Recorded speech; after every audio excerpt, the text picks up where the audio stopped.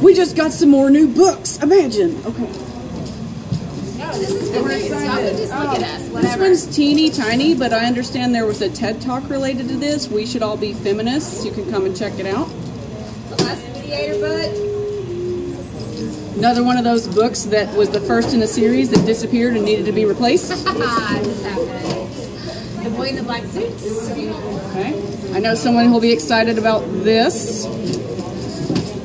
Shadow Wave. The Silence of Six. That sounds ominous.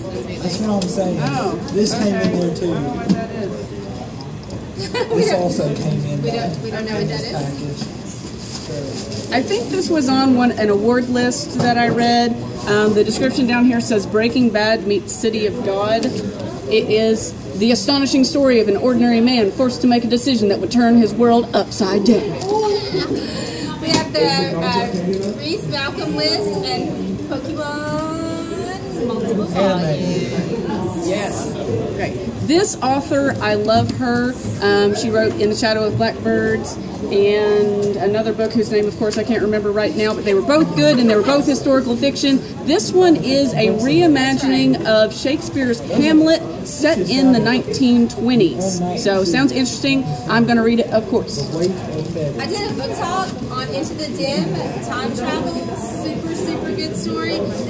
all over social media right here, 10,000 Skies Above You, and Tarnished. Yes, that's the sequel to Perfected, in which people are raised to be pets for other people. It sounds weird. Um, I talked about this one in a book talk. It's one of those star-crossed love stories um, with some magical realism. It was really, really, really, really good. he was, what is this? The last Oh, yes. Of the trilogy, The Winter's Curse. Yes, book third books in trilogies are always super exciting.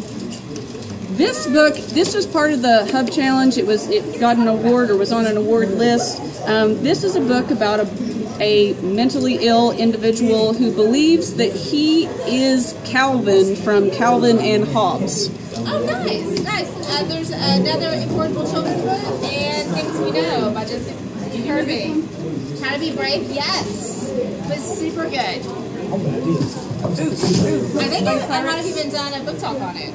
Okay, and this one, I believe this one is Space Pirates, so I'll be reading that. Space Pirates, you gotta do that. Apparently, there's a. And All American Boys. And is this the last one? I think so. Okay, and lastly, this is um, episode or issue number two of the Unbeatable Squirrel Girl. Hilarious. We have number one already, and here's number two.